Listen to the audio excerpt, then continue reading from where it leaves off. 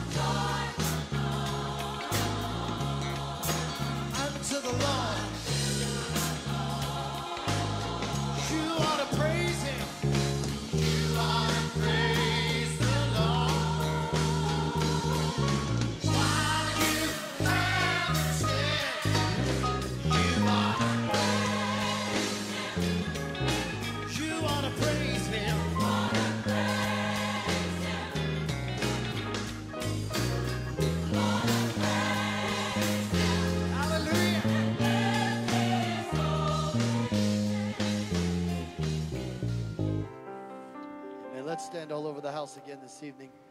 Going back into worship for Bible study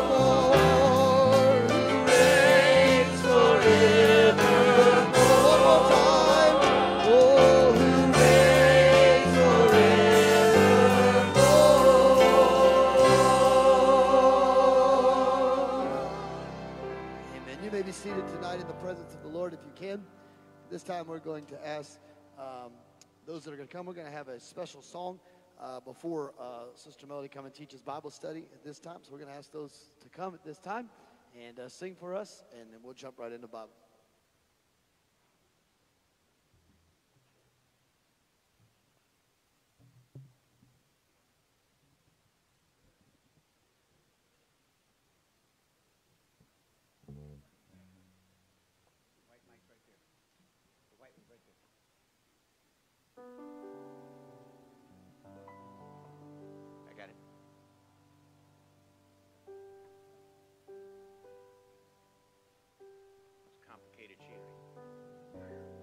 House of the Lord tonight.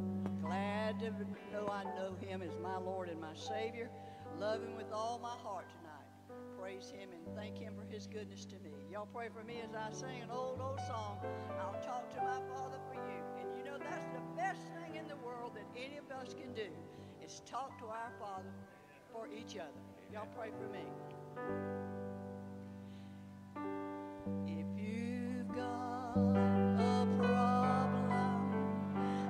Sure like to share. There's one special way I can show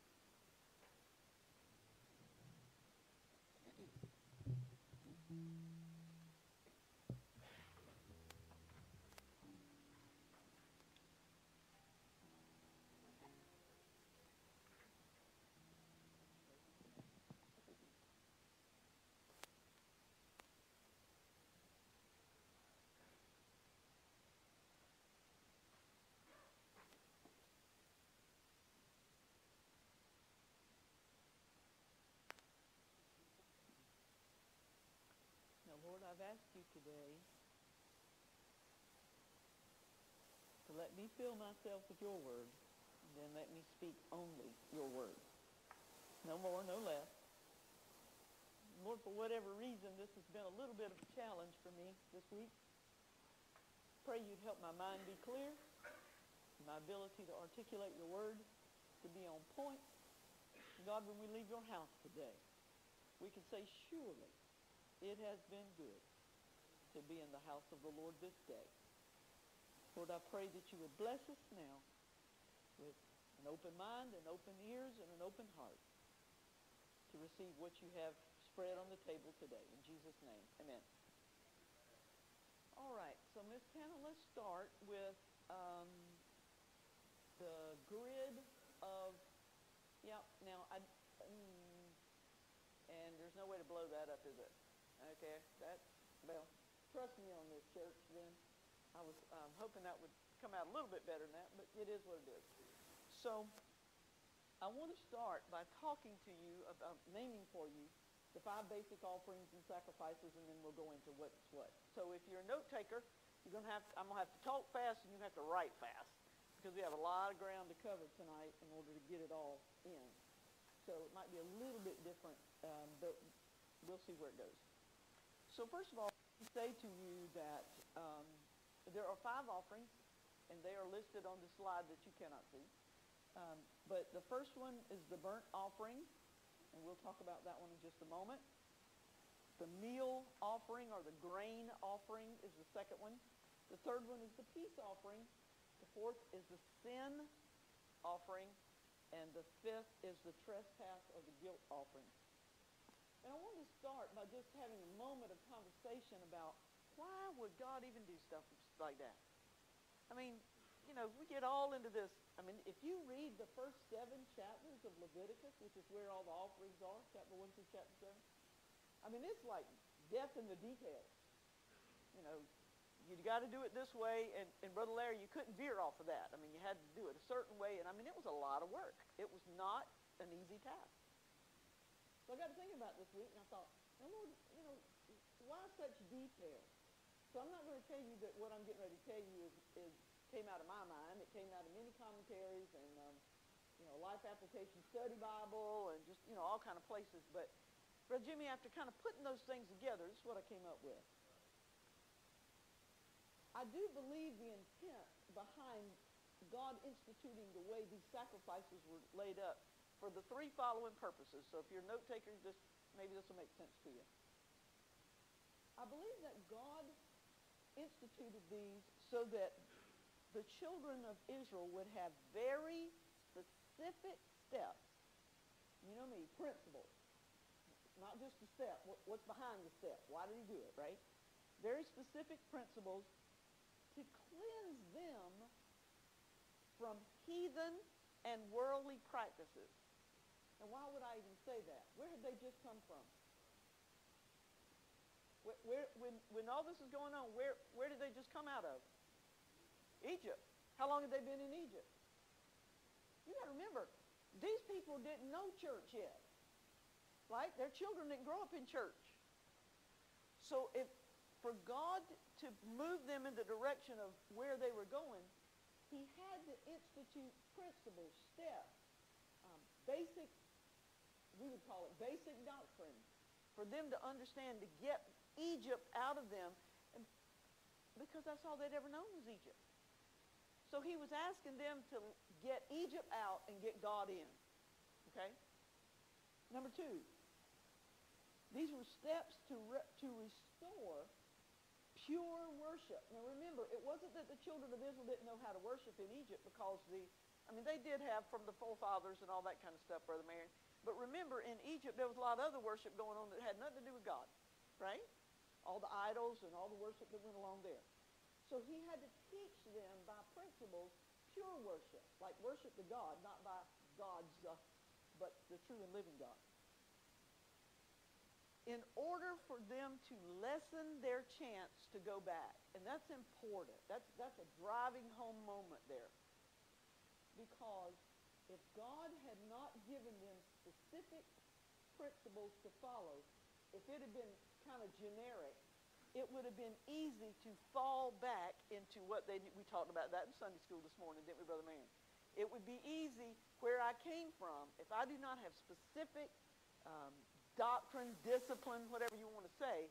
It would be easy for me to go back to where I came from because why? That's what I knew. So it's it's learning a new way, if you will, and they needed specific steps to get them there. Um, I use this line this God's principles here were not about how close can I stay, but what?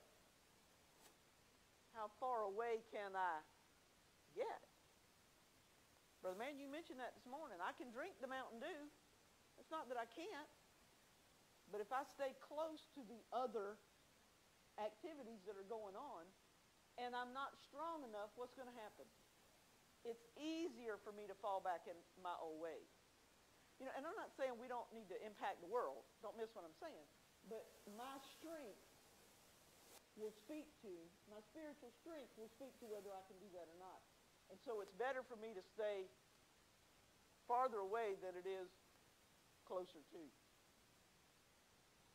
The third thing is God instituted these principles of um, offerings and sacrifice to um, give a graphic picture of the seriousness of sin. I don't know that we do a very good job in the church world of that. I, I mean, I don't mean that in a harsh way. I'm just saying, if we really believe sin had as serious consequences as it had, we might be a little more fervent, right? If you don't want your kid in it, how, how far are you going to stand on the roof over it? Yes? somebody who's been there and done that and doesn't want their kid to go there is a bit more vocal than maybe somebody who's not. True? Absolutely. So what this chart will tell, what this, what we will talk about here tonight, is there's each of these offerings have a purpose, they have a significance, and they will reflect something about Christ because all of this is about a foreshadowing of what Jesus Christ would do in order to bring us back into fellowship with God. That's the whole point. Man was in fellowship with God. Fall, fall came, right? Adam and Eve, fall came. And now there has to be a way for us to get back to God. Jesus isn't going to come for many thousands of years. So these principles are based on a foreshadowing of what Jesus Christ would do for us. Um, the next slide should be talk about there's two types of offerings and we'll break those down tonight. Number one, they're offerings of reparation. It's repair damage to repair damaged relationship with God. Those two offerings will be the sin offering and the trespass or guilt offering. But those are all about repairing a damaged relationship with God. Then there will be um, offerings or sacrifices of consecration. There are three of those. Those will advance the life of the believer. Those are about drawing closer to God, if you will. Those will be the burnt offering, the peace offering, and the meal offering, or the grain offering. And we're going to talk about all those here in just a minute. We won't do them in this order, though that's the way they are. Leviticus, the ninth chapter, will tell you what order the sacrifices were done in, and you couldn't get those out of order. The reason I bring that up is because the repair of, of the damage between men and God had to happen first. You can't have sacrifices of consecration and, oh, I love you, Jesus, right? Until when? You've made right relationship with you and God, or me and God, right? So um, as we go through these tonight, we're going to go through them as they were presented in Leviticus. Leviticus 1, Leviticus 2, Leviticus 3. But when you get in Leviticus 9, it will tell you the order they did them in. And that was specific. You can't get one order out of another. People try to do that all the time. Oh, I love you, Jesus, but I don't have a relationship with Jesus. Eh, that won't work. Okay? The first one, um, the next slide should tell, uh, and all. Turn it over. What do you want me to do? Turn it this way. What do you want me to do now? Hellos. Okay. When you're unclip it and move it, it won't do that. You want me to do it this way? It won't work. You're really killing me here, brother. You're cutting into my time. Well, help me. That's what I birthed you for. or maybe not. I'm just saying. I hope the older I get, he won't have to do all that. You know what I'm saying? I'm going to be I'm going to be like my uncle Henry when I'm 80 when you're 80 or whatever he's getting ready to be so that I take care of myself. Just saying up front, giving you heads up. I got 20 more good years coming. All right. So the next one will be the burnt offering, um, and it has to do with. It's found in Leviticus, the first chapter. It will also be found in Leviticus 6, 9, and 13. But we're coming out of Leviticus 1 for this one. And the burnt offering was an offering that was made for the nation twice a day, morning and evening. Okay? But individuals would make, would make this as well. So this was corporate as well as individual.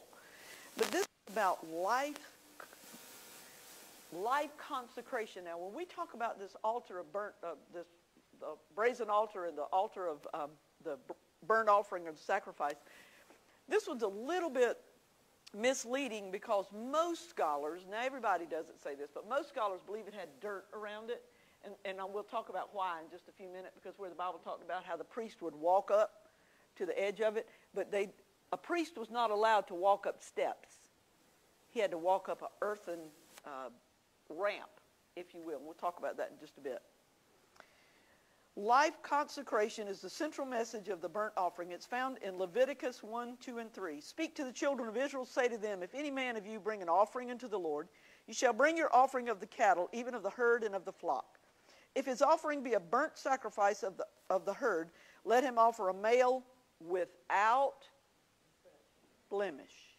That's important. He shall offer it, this is important, of his own voluntary will. That's important. At the door of the tabernacle of the congregation before the Lord. This sacrifice is about my daily walk with God. The burnt offering was to be an offering without blemish. Why? Why, why is God so picky?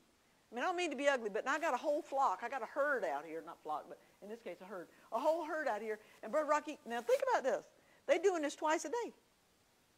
Now, I know you got a million people out there. I don't know how much, you know, cattle you got, but you got to go.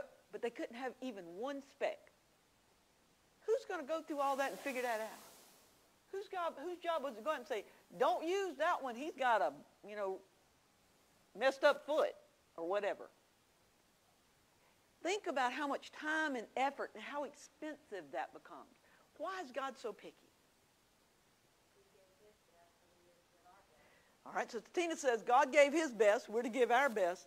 It's to speak. Remember we, when we talked about the reason God did all this? He had specific steps because they needed to understand, number one, the high cost of sin and the sincere commitment it was going to take. It could not be flippant attitude. It had to teach them reverence for a holy God.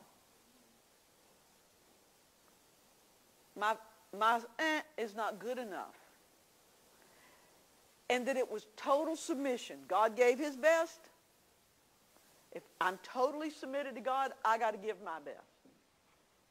That's, he, they drive that home every day, twice a day. Everybody had to, had to see that happen over and over and over again. I, it's the principle of I cannot come to God any old way. I've got to come with a whole, my whole spirit, my whole attitude, my soul, my mind, my heart, my, everything about me. My outside had to present to God in a, in a certain way. My inside has to present to God in a certain way. See what I'm saying? God says you can't, the whole being had to be right, not just one of them, not part of that. The offering of consecration is meaningful only when, and if you look up at the, at the screen there, it, nope, you had it, don't leave me. Right there where it says the sin offering and the guilt offering, those had to happen first because again, you can't come to a holy God until what? Till you've dealt with the sin piece. Okay? Self consecration must be freely given. I give the gift of myself not because I have to, but because I want to. Even though the burnt offering is voluntary, worship cannot take place until it is given. This offering is not demanded by God. It's something I bring. It, it's a Tina, I'll use your line. In my, um, in my receiving of Jesus covering my sin, I'm offering myself back to him. You see what I'm saying? I'm thanking him because of what he's done for me, and I'm willing to give him most of my life. Well, I mean, you know, almost. I mean, there's a couple little things I would, you know, I mean, he probably not real happy with that, but I mean, I, uh, for the most part, I got this covered. He said he's a jealous God and he wouldn't take it. Well, that's just not good. Maybe he's not worth serving. Really. Maybe for you he's not. Maybe for me he's not. But the truth is, I can tell you at this journey, point in my journey, oh, he's well worth every step of the trip. All right, Galatians 2 and 20, I believe, is Miss Sandy. I have been crucified with Christ. It is no longer I who live, but Christ lives in me. And the life which I now live in the flesh, I live by faith in the Son of God, who loved me and gave himself for me. I am what? I am crucified. What a strong word. I am crucified with Christ. Nevertheless, yet not I, but Christ lives in me. That goes back to that burnt offering thing that says, my daily walk. You see what I'm saying? Every day. I am, it's not a one-time event. Being crucified with Christ is not a one-time event. I came down here. I gave my, I gave my heart to God. You know, maybe you didn't do that down here. Maybe you were at the kitchen sink. I mean, it doesn't matter where, right? But it's not about a one-time. I have to crucify myself how much? Well, why would I need to do that? Because every day the Egypt comes creeping up. And that's what he was trying to teach them. It's in response to what he's done for me. The burnt offering is a commitment I make to allow him to finish his work on this earth through me, to touch through me, to speak through me, to care through me, to love through. How do people see Jesus? You know, every now I'm, I'm gonna say me now. I'm not saying this is true of y'all, but you know, sometimes when you lay down at night and you think back through the day and you go, "Ooh, I wonder what they saw today." At work, at home. Anybody ever ever had to go back and apologize? We ride along yesterday, no, day before yesterday, Friday, and apparently my dear husband did not like the way I was driving. And first of all, I didn't ask to drive. That was his doings. You know, he said drive. I did, I'm like, okay, whatever. And so apparently by my response to him and then in turn his response to me, he felt like I was quipping a little bit. I don't know if you know what that means, but I thought about some other family members that I know who have this happen in their vehicles sometimes. But um, anyway, I, so Sister Carol, before the day was over, now you talk about just get my goat. I'm like, nah, it wasn't that big a deal, God, really. I mean, come on now. I mean, he asked for it. You know what I'm saying? Right? I mean, I'm not being ugly, but I, there were two car leaks. Two, like big cars, not baby cars, big cars. Are you going to stop? I was like, well, yeah, thought about it.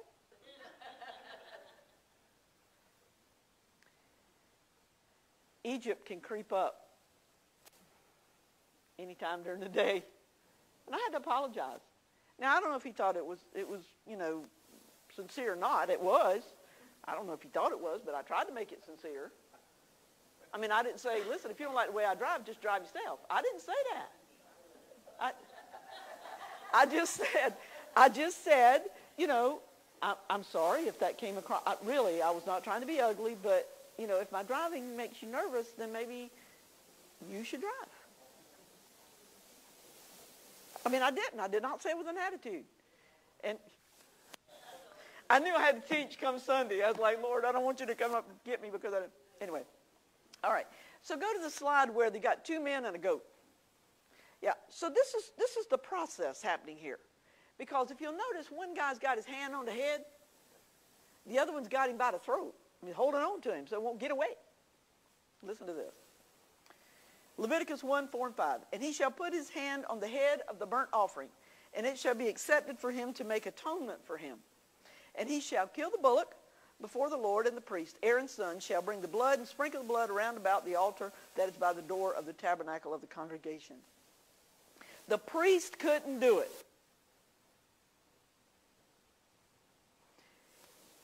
The Bible, God wanted these people to understand that there is a high price to sin. When they put their hands on the head of that animal, it was a symbol. It didn't really do anything, but it's kind of like when we pray for people, you know, use all, but it was a symbol of transference of guilt. Um, you know, I acknowledge this guilt.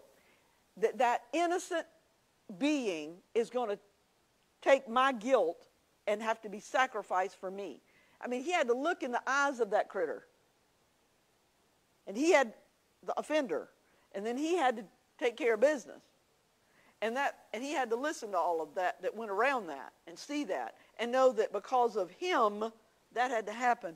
Oh, that we grabbed the concept of that. Oh, that we grabbed the concept of that. But the priest couldn't do it. The offender had to do it. The wages of sin is, but the gift of God. All right. I can take it as far as I can, but then there's a mediator that has to take it from there. If you'll notice when we were reading that scripture, the offender had to take had to do the business, if you will, of taking care of the sacrifice, but the blood was sprinkled by whom? By the priest. That's the middleman. That's the mediator. Thank God he sent Jesus to be my mediator. Because his blood was sprinkled for my sin. That makes sense? They didn't understand that, Brother Marion, because that wasn't going to happen for thousands of years, but that's the picture here. That's what it's all about. It talk, it, this is speaking to the atonement. Without the shedding of blood, there is no remission of sin. Okay. Only I can stop living for self and live my life in total dedication to God. You can't make me do it. You can't guilt me into it. What I, what I mean by you can't guilt me into it. What does that mean? You can't guilt me into it. You know, if we're not careful, we try to guilt people into getting saved. How long is that going to last? like when, a- it's like when somebody gets in fear, they, they're, they're afraid what the pastor saying about going to hell, and it's the same thing. Right. Over a process of time, that fear is going to evaporate, and it's going to go back and go away. You ever heard the old adage, um, there's no atheist in a foxhole? I mean, you're a military man, right? But when I get out of the foxhole, what happens? I forget about what I said. We can't guilt people into loving Jesus. Now, we can show people how to love Jesus. We can help people see why they might want to love Jesus. But I can't guilt them into loving Jesus. Because only I can speak to my life and what I'm doing in my walk of faith with Jesus. Now, I can pray for them. Don't miss that because I can. But, all right, Leviticus 6, 9 through 13. I want to take you there a minute. This one's kind of interesting to me. Command Aaron and his sons, saying, This is the law of the burnt offering. Again, that offering, the burnt offering will be the offering that is made it is making payment, if you will, for sin, sin in general. It's showing my devotion to God because, because God, God's taken, you know, thought of me. This is me in return taking thought of God, all right? It, it represents Jesus voluntarily laying down his life for my sin and my response to that. That's what the burnt offering is all about. Command Aaron and his sons, saying, This is the law of the burnt offering.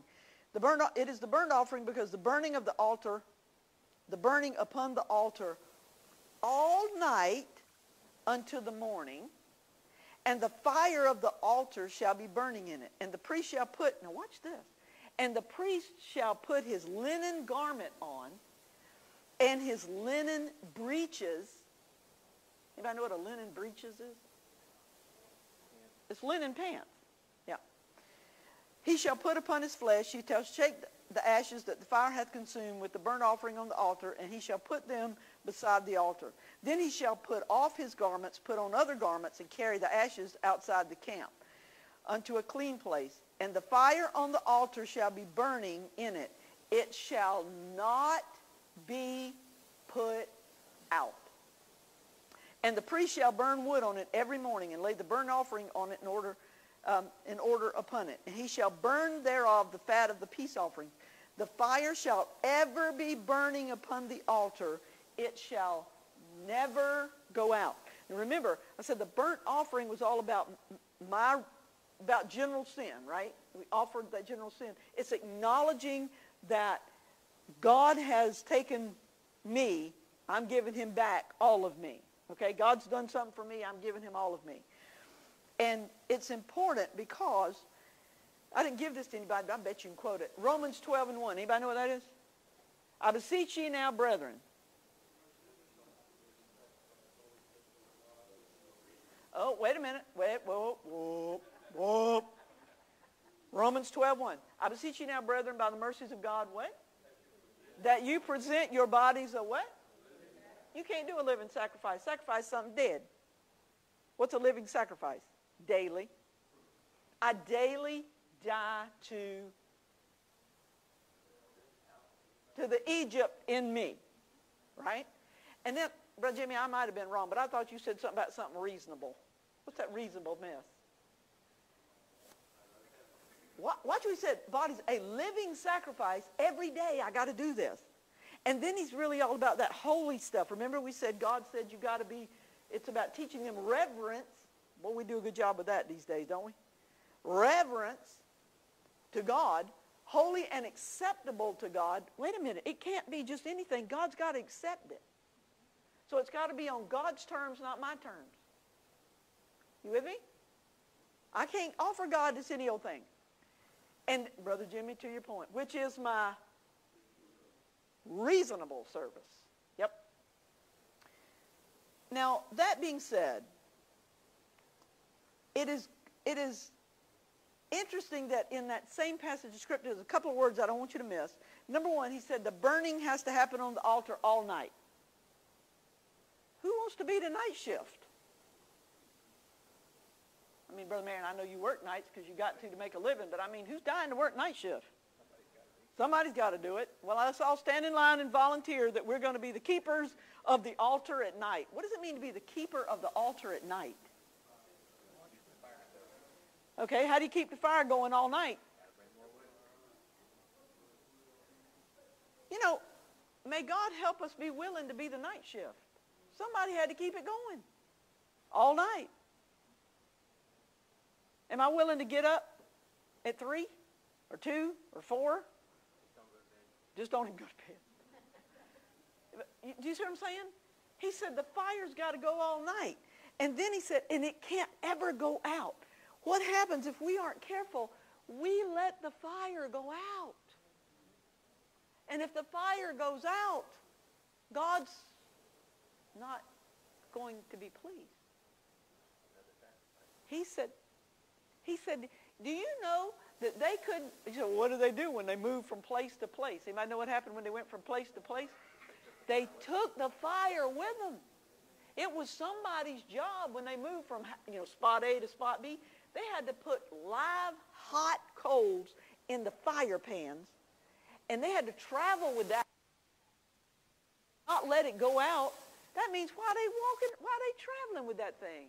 They had to make sure that the fire didn't go out because they had to use that fire to start the next one when they set camp. I'm not a preacher, but I bet you some of you guys in here could just tear up a sermon on that one. Keeping the fire going. That's what he said. That's not what I said. That's the, that's the principle in here. No acknowledgement of what God's done, there will be no appreciation. My living sacrifice is my response to acknowledgement of a price paid for my sin. If I don't think my, if I don't think too much of my sin, I don't think too much of what the payment is. I mean, if I don't think I've done, you know, it's no big deal. Then I'm not going to be jacked up about it. And I won't realize how much God has really done for me.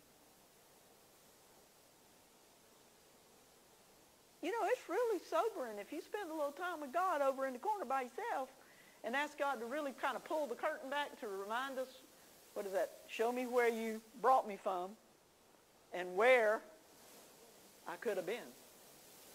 Remember, I'm human. Humans forget. What's the song? Wasn't it Dottie Rambo? But remind me. Well, he can't remind me if I'm not even listening. Right? The fire of total consecration shall be ever burning. The live coals in that fire pan, each priest had a personal responsibility to keep the fire alive. How about me? It's the responsibility of every believer to gather live coals from the altar of God during the, not just on Sunday. I may, I may get them on Sunday and carry them in the week, but the truth of the matter is I need to have them during the week and bring them in on Sunday. Right? It's not his responsibility alone. Now, it is his responsibility, but not his alone. Right? Lively stones. Okay. Let's go to the meat or the meal offering. It's known in some uh, translations, if you will, of the grain offering. That's in Leviticus, the second chapter.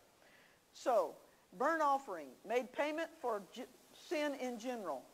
It showed my devotion to God. It spoke of voluntarily lay, Jesus voluntarily laying, laying down his life for me. It was the perfect sacrifice. Now we go to the meal or the grain offering. This offering will show honor and respect, honor and respect to God in worship. It's an acknowledgement that all we have, all I have, came from God. God gave it to me. The very breath that I breathe, the effort that I make to work, what, what everything I got came from God. Everything. I did not do it on my own. He gave it to me. Well, no, I earned it. okay, well, I tell you what, let him snatch breath for about 20 minutes and let's see how far we get. Right? I had somebody say, well, God didn't do that. I did that. I said, okay, can you hold your breath for a minute? And they said, what does that got to do anything? I said, just hold your breath. I don't, I don't even know how. I said, as long as you can. As long as you can. And, and they, you know, well, how long can you hold it? I, mean, I don't know what the world record is, but you get my point. After a while, what happens? right? Wait a minute, wait a minute, don't do that. That's God's air. Don't, don't do that. You said you got this. Don't bother his air. And they're like, what do you think, what do you think somebody's response at that point is going to be? You know, they give you the evil eye. Because that's the way it works. It's acknowledging all that I have belongs to God. And God, Satina, God gave his all. I, in return, I need to give my all. Leviticus 2 and 1. And we offer a meat or a meal offering unto the Lord. This offering shall be a fine flour. Pour oil on it and put frankincense thereof. Again, my response. So what is that? What is this about? The flour, if you will, represents my labor. You know, they like they, where they would farm and but I might have planted, but God gave the increase. Does that make sense? Okay. The flower representing the results of my labor. It's an evidence of my giftedness, what God's given me. The ability to work, the ability to teach, the ability to whatever it is your, your gifting might be. It is, a, it is a meal offering. It is one of service. I give back to God out of what I have and, and what he's given me, right? If, and, and I thought it was interesting. I, mean, I don't know. This is my opinion. But it didn't just say flour. It said fine flour. That was the best flour. And that goes back to giving God my best. And then he said, pour oil on it. Okay, everybody in here, Pentecostal knows this. What, what, what is oil a representative of? Spirit of God, right? when I give God my abilities, my talents, I don't think I gave anybody this, and please help me if I misquote it. This is Colossians 3 and 23. But it, the Bible in Colossians 3 and 23 says, whenever I do something, I should do it how? Heartily as unto the Lord and not to men. I don't work for MUSC. Yeah, you do. They, they cut your paycheck. Drops in the drops in the in the bank every two weeks. Where I'm I don't. I, and the Lord has to remind me of that at some time now. I don't work for MUSC. I work for God. Somebody somebody asked me one time, why do you why are you so meticulous about writing down how much your time is? I mean, you know, if it's 15 minutes, what is 15 minutes? I said, because I promise you, when I put my time in, I'm going to work over my allotted because maybe I was, you know, took 30 extra minutes somewhere along, but I try my best to give them 100% plus. Because I want God and myself, to, when I go to bed at night, to know I gave God my very best. They can't tell me I shorted him because I, I've done my best not to. God says that's required of us anyway. Well, it is. I mean, you know, I think, uh, uh, don't take it from them. When it was time to leave, when it was time to leave Orangeburg, and uh, you know, you pack up your office and your desk and all that, I really had to think hard about what needed to go with me. Now, my personal stuff, you know, I had it in the box, right? But I had to look real hard, Sister Jennifer, about, okay, now what needs to go with me? Because if this is going to be used for work, yes, but I don't need that getting caught up in my personal stuff. You say, oh, you're getting kind of nitpicky now, aren't you? Girl, I'm telling you, I put them, those sticky notes back. I go to the dollar store and buy my own. I don't want God looking at me and say, you stole that. That wasn't yours. Are you kidding me? Are you smoking weed? Maybe. Maybe I am. But I don't want God to look at me and go, you stole that. That was, what is the definition of being a thief? Taking something that what? It didn't belong to me. I didn't buy it. Right? And I put the MUSC tag on some of that stuff. Like if I die, you send it back over there so I don't get blitzed on the way up. Right? Just saying. Got to be careful. All right, meal offering. My giftedness, my efforts, my, my labor, if you will, to God. And notice it was also the fine flour, my labor, the oil, it's God's gifts to me. They are not my gifts. Anything God can do, my little penny ante way of teaching has nothing to do with me. It's God's Spirit gave me a gift. That's not my gift. That's God's gift to me. I don't own it. He can take it away any second he wants to. But then it said, and put frankincense on it. Um, I think this is in, if I'm not mistaken, in one place I was picking at the pastor about this the other day. I think it's in Revelation, like fifth chapter or somewhere, talks about the, the prayers of the saints being as incense going up to God. Frankincense here, and it, it's a symbol of prayer. It's my labors, my giftings, my whatever, and they are all covered with prayer. And that, it, that goes before God in a sweet smelling savor when I go that route, when I go that way. God can then anoint it. It's a natural sequel to that burnt offering. They often went together. Okay? It, it, not only me acknowledging, you know, the atonement of my sin, if you will, in burnt offering, but it, it's my giving back to God, thanking Him, being grateful because of what, what He's done in my life as well. And, and the Bible talks about in Leviticus 2, 2, and 3 about it being a sweet savor unto, unto God. And then in, let me see if I can find it. Um, I think it's Leviticus 6. Yes. Leviticus 6, and, and I won't read it for time's sake because it's going to get away from me here in a minute. But in Leviticus 6, 13 through 16, the Bible talks about some ingr- other ingredients that are tied here. And in 6.13, it uses one that says, and 13. That's not the right one then. Go to 14.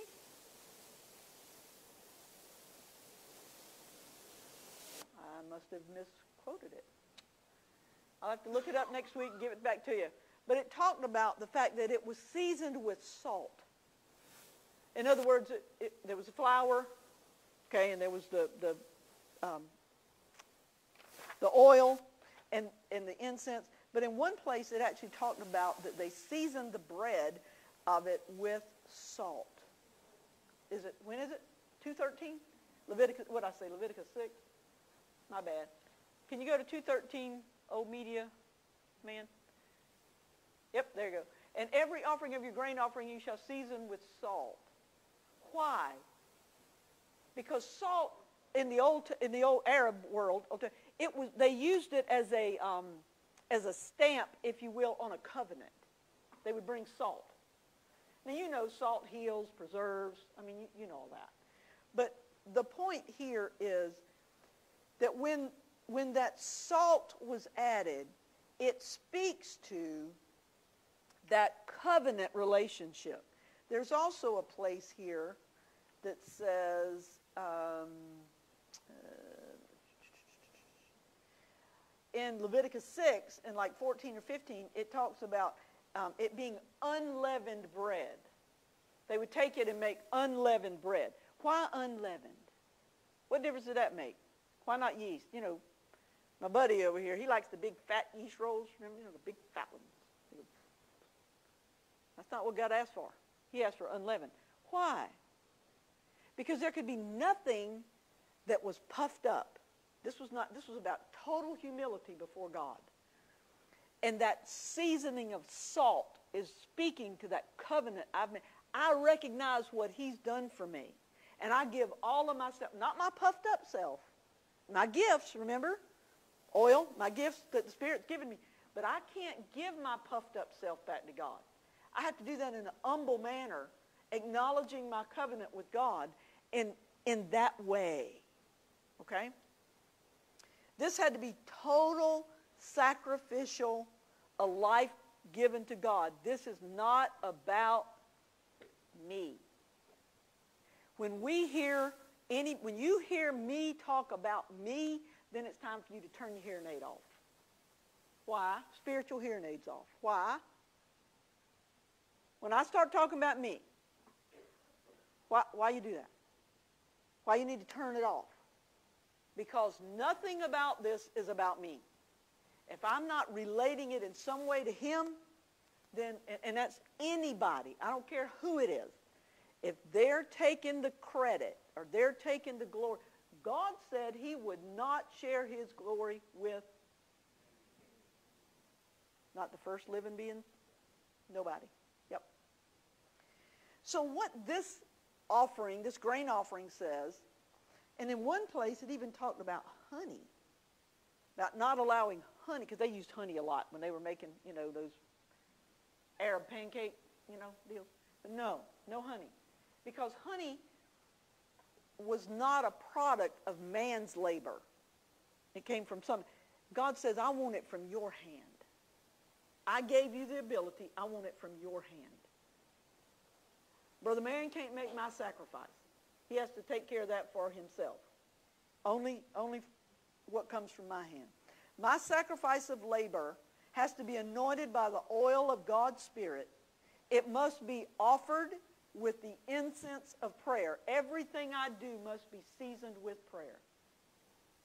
What if I'm making chili for the extravaganza? I'm not being ugly, but who needs to pray over chili? I don't know. I've made some I prayed over. I'm like, Lord, please. This doesn't look like it's coming out the right way, but when it's all said and done, would you please let this stuff work? Right? If you're a woman in here, you've done it more than once. If you're a baker, Lord, please don't let that cake fall. I mean, that one's got to go to church. That one's going to the cakewalk or whatever. You know what I'm saying? But it's covered my efforts, my sacrifice of labor, anointed by the oil of the Spirit, offered with prayer, the incense of prayer, absent of anything that puffs up, puffs it up, no leaven here, No sweetness of honey. It's just my giving of me, and it's seasoned with salt. It speaks of it being preserved because of my covenant with you. Oh, hallelujah. If you were Pentecostal for at least two and a half days, you should somewhere in the depth of your soul, when we talk about the covenant that has been paid, that's a hallelujah moment. Because I don't have to do this alone. I mean, maybe you get all up in that. I don't. I need all the help I can get. I have nothing. The Bible says my righteousness is what? That's what he said. Third one, Leviticus, the third chapter. We'll go to the peace offering. What is the peace offering? Peace offering um, is a way for me to express my gratitude to God. All three of these we've used so far burnt grain and fellowship or peace offering these are all voluntary offerings. Okay? It's a way for me to express my gratitude to God. It symbolizes peace and fellowship with God. In other words, I'm at fellowship with God, therefore I am at peace with God. Where Christ is concerned, it speaks to Christ is the only way I can be in fellowship with God. We say, we, the way we teach it would be what? There's only one way. Jesus is the only way. There is no other way. I am the, how many ways? The way. I am the way, the truth, the life, right? So this peace offering, in the peace offering, um, the worshiper gets a piece of it back. Like when they do the whole, you know, not like a barbecue at Brother Henry's house. You know, you get a little bit back. So the peace offering, a portion of it comes back. This is a place of thanksgiving and fellowship, a table, if you will, spread of fellowship. It is man's meal with God. It is a place in this offering where I, I take my, my offering to God, I, I I do my business here. It goes on the altar, but a piece of that comes back to me so that I partake, my family and I partake of this. And, and it cannot be done it, until after there is a sin offering. And, and let me read you this just so you know where I'm coming from. This is found in Leviticus 7 and 20. But a soul that eateth the flesh of the sacrifice of the peace offerings, in other words, the part God lets you have back, if, if someone does that, having his uncleanliness upon him, even that soul would be cast out from his people. In other words, God said, you can't be principle, principle. You can't be in fellowship, Melody Vaughn, with me. You can't, you can't get it back. We can't be sitting at the table of fellowship when you got sin in your heart. Why? Why? I thought God loved everybody. I mean, doesn't God love everybody? Yeah? Well, I mean, well, then why, why, why is this a problem? Number one, we go back to when I do not teach my children, my grandchildren, myself, when I do not teach that, that we cannot come to God without a spirit of holiness and reverence. We cannot. He will not accept it. I can't help what church service was today or I can't help what I think at home. God will not accept anything that is not holy. He won't. It doesn't matter what it looks like. If it's not holy, he will not accept it. He can't. How do I know that? Because the Bible said God turned his face from his own son. Why?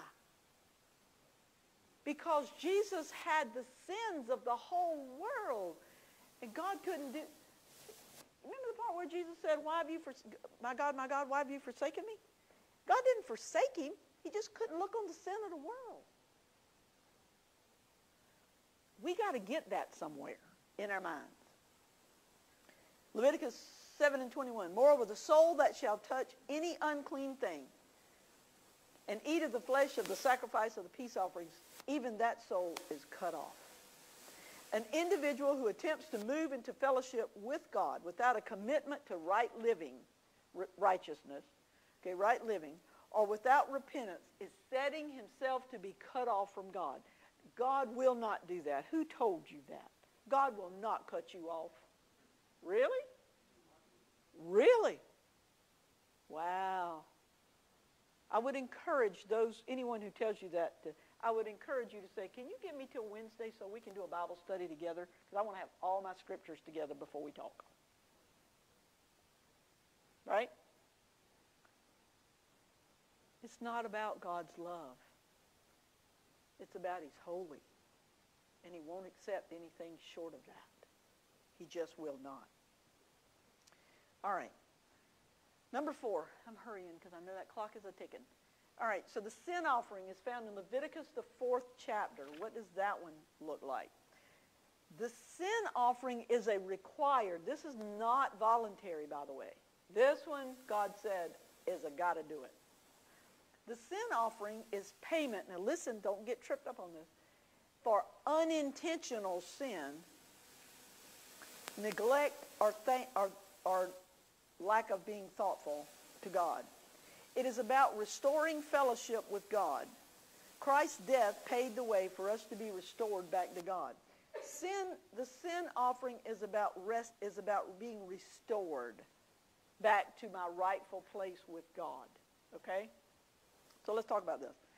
This is damaging. This is the one we're talking about. There were two types of, of two classes, if you will.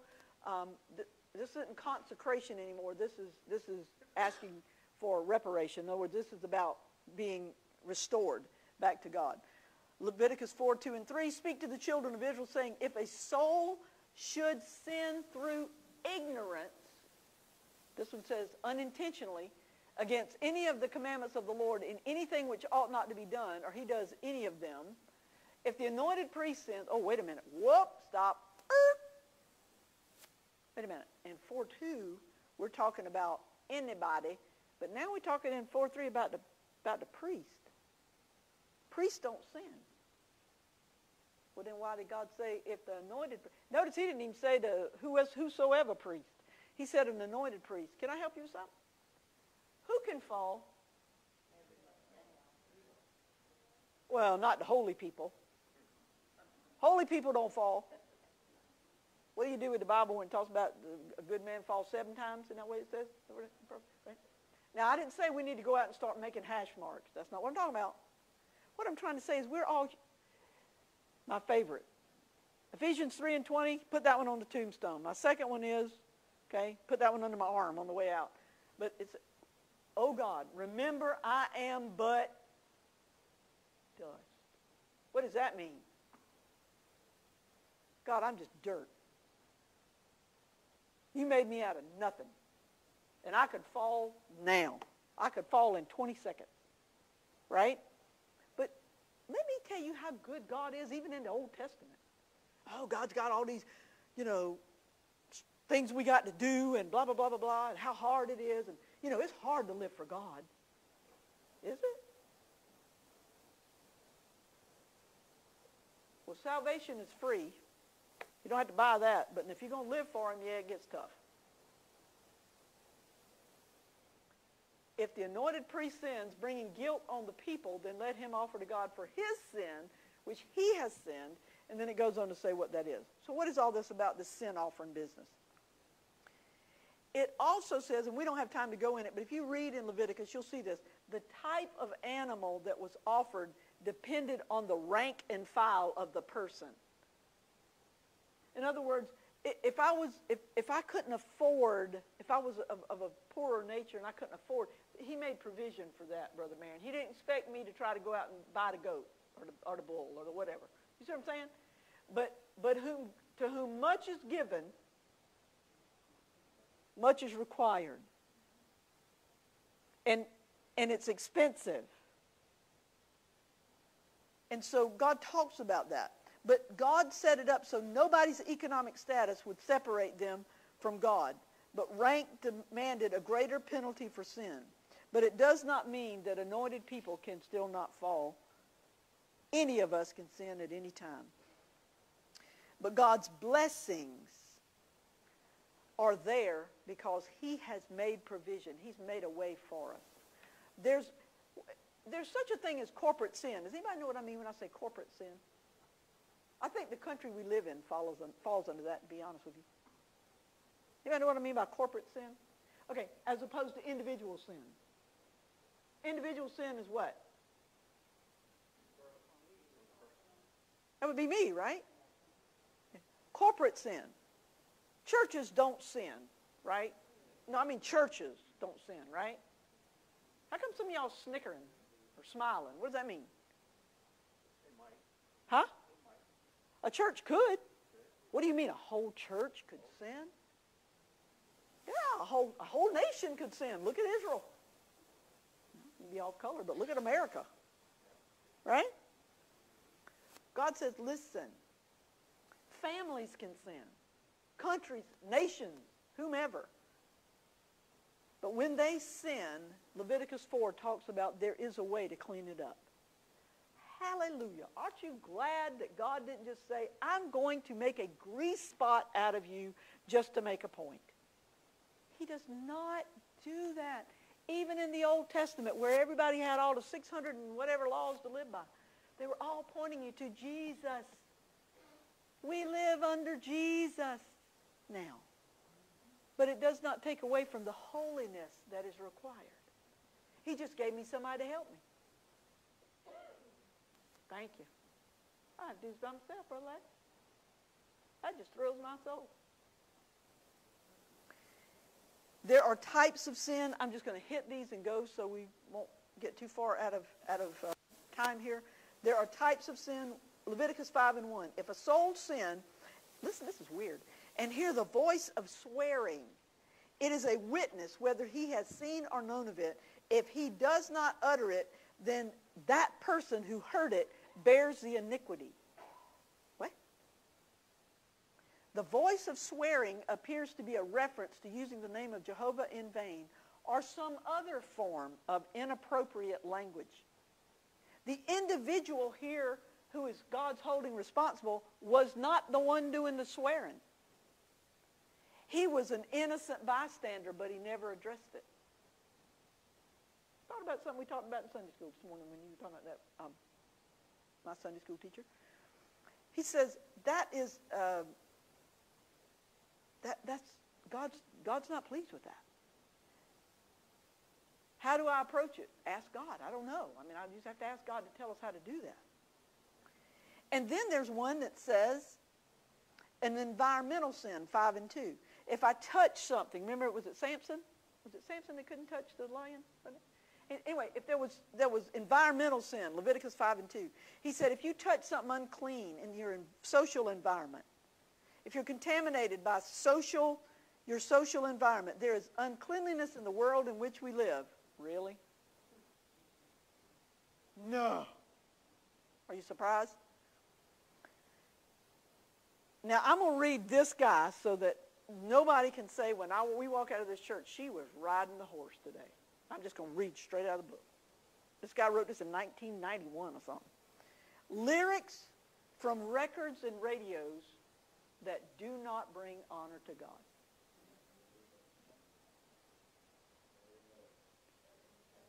I did not do that. If what I'm seeing on TV, if what I'm listening to on the radio in my car, if what Siri brings up, if I can't walk to this book and it say it, it glorifies God, what I need to do. Have you ever noticed on your phone, it doesn't matter how holy you are, they, I, they shove advertisements in your face. I'm like, I haven't even been looking or talking about anything like that. What? I mean, really? You don't have to go. The, how many? Let's see. One, two, three, four. There's at least four of them in here. Riley, how old are you? How old are you? And how old is my man next to you? Okay. So 17 and under. I got at least four of them. Guys, they, they don't have to go looking for it. They don't have to look. It shows up. So don't we have a responsibility not to add to it. Does that make sense? Okay, um, suggestive messages from a billboard. Like, why would you put that on a interstate? Really? Media input. I think it was Brother Marion talked about this morning. You pointed to your pocket to the to your cell phone. He said it. I mean, it walks with us everywhere we go, right? Brother Marion, I just can open it up. I didn't go looking. Okay. Once it has crossed my senses, five senses, right? Like see, hear, touch, right? Once it has touched my senses, other than God doing something, it cannot be removed. You know that's why they talk about kids who do drugs. Some of those, uh, crack, meth, and etc. How many times they got to do it before they're hooked? How many?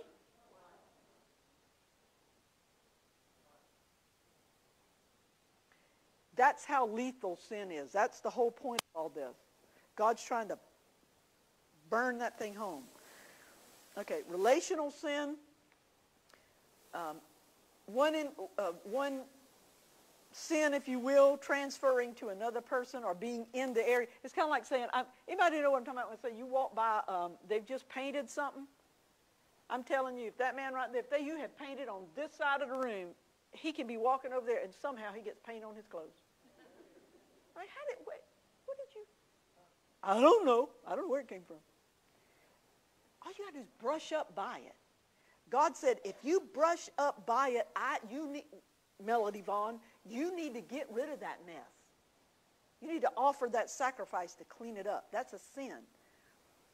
Not only is the individual, again, I'm reading, not only is the individual who sinned responsible, but any person who is a carrier of the contaminant is guilty as well.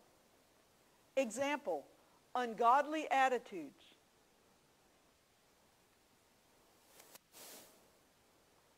I'm just talking with my friend on the phone. We're not gossiping, we're just sharing. Now, I'm reading out of the book. Don't give me that. What do you do? I'm not meddling. It's in this book. Let you read it. Ungodly attitude. Jokes that are inappropriate for a Christian. If I'm sitting there and I say what, and I participate in a conversation that if Jesus were there, I would be embarrassed, I got two choices. One of them is get up and leave or address it. Now, I don't mean address it. God's got to help me address it the right way. Okay, so be careful there. No, no slinging swords. You see what I'm saying? I did not say that. It's out of this book. Appetites. If I'm hanging with people, that this is environmental sin.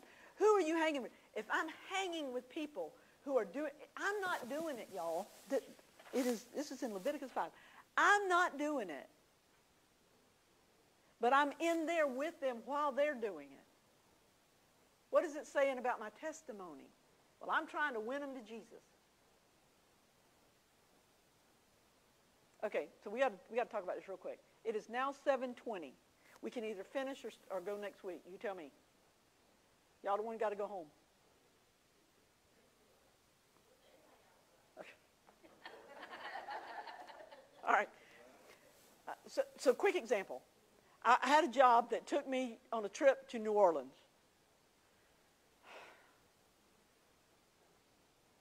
I'm from Williamsburg County. I didn't need to be in New Orleans. I'm going to just leave you with that. Okay? I didn't even know what half of that stuff was. Is like probably, you know, 20 years ago. But I was with my boss and, and the lady I worked for. And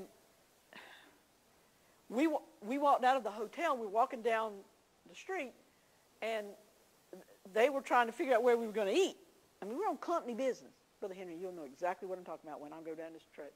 I, from some of the stories you told me in your past. they walked by, and, and we're going, um, they didn't ask me, by the way. You know what I'm saying? And they just turned and walked into this place. I knew about the time I got to the door, this was probably not a good place for a Church of God preacher's wife to be. And they stopped at the bar. My boss says, now you don't have to drink. They got soda here. I said, I tell you what, guys, I'll be right here when you come out. And they said, no, no, no, we're just stopped here till they get us a table. We're going to we're gonna eat here. And I said, I tell you what, really, it's okay. And that would have been my chance to get a good meal on somebody else's dollar, right? Now, I would like to tell you that I was all holy when I did that.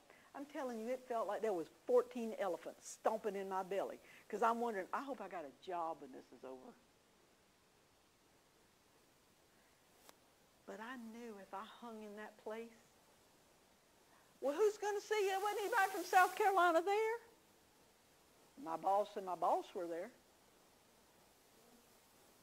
I'm just saying. Uh, That's what he's talking about here. All right, let me hurry. In Leviticus 5 and 4, there's the sin of I made a promise, but I didn't follow through. I said I was going to do it, but I didn't do it. Okay? That one. All right, so all of those, God says, you still got to deal with them, Melody Vaughn. You can't let it go. Some of those I felt condemned when I was studying. I'm like, God, if you want me to address it, you got to tell me how to do it.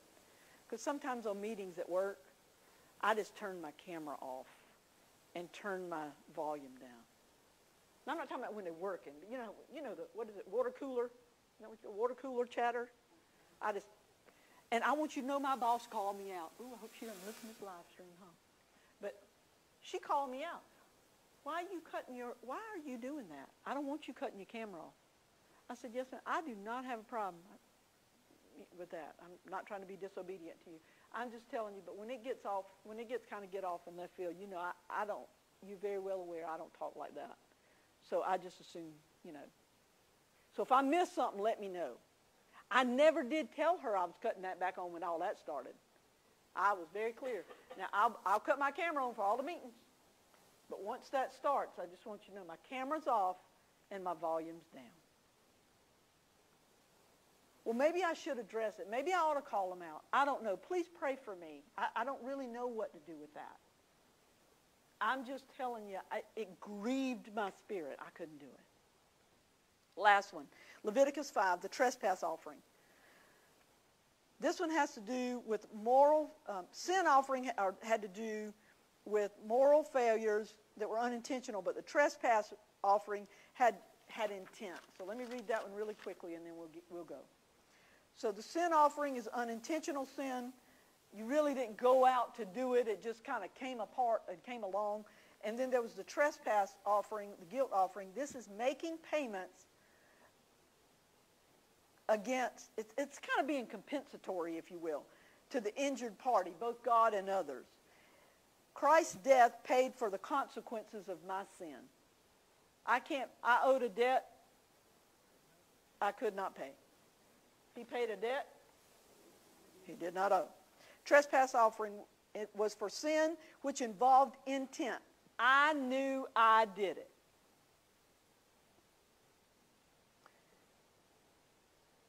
It is under, the understanding that not only was I, and this is Leviticus 5 and 16, the Bible said, when you make amends for harm that is done, it shall be added another fifth part. In other words, it wasn't enough just to pay back what you had done. And when I say pay back, that's not always the money.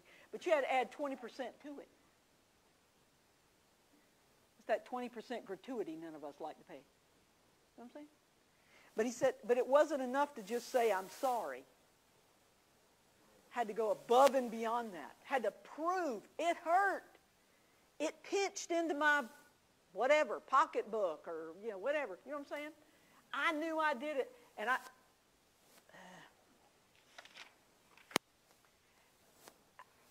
I had to go back, Brother Marion.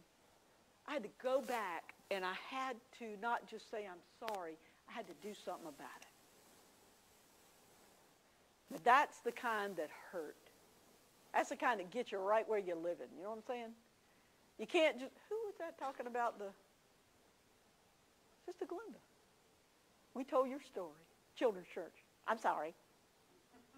She knows what I'm talking about. But I got to show that I'm sorry. Payment's expensive because I realize what I've done.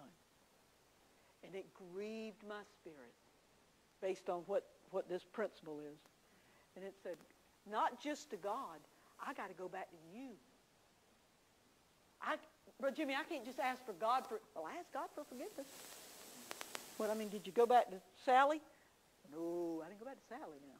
Sally didn't even know I did that.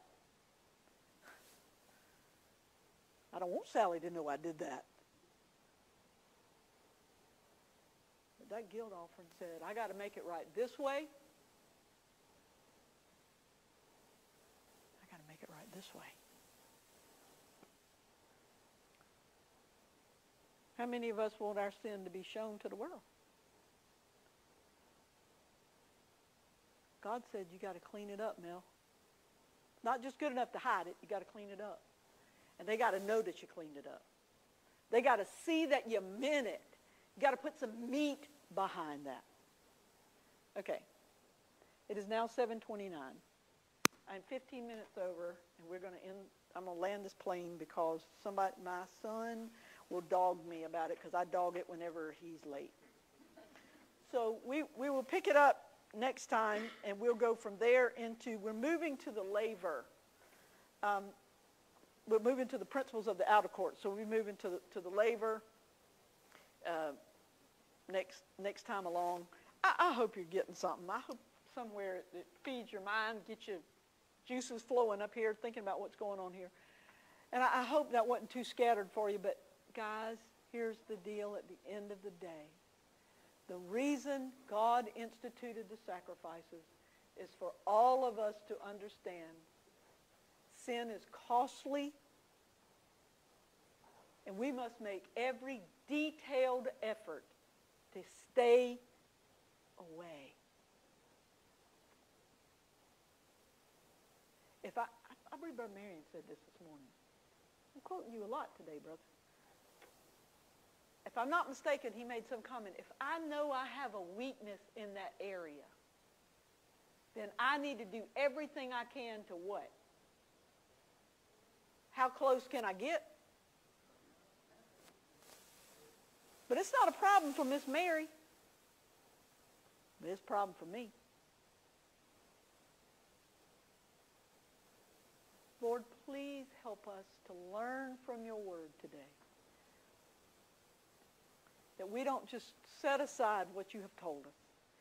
God, let every one of us, start with me, every one of us, understand the significance of sin, the cost, the innocent